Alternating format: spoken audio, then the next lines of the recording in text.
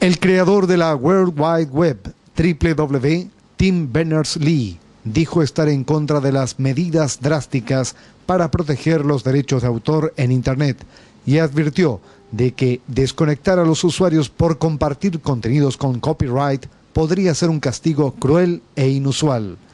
Berners-Lee advirtió que el control de los movimientos de los usuarios en la red, necesario para detectar si incumplen las leyes de propiedad intelectual, puede suponer una violación de los derechos fundamentales de las personas. Con edición de Enrique Villamayor, informó Gerardo Rodríguez Jaques, ABCTV.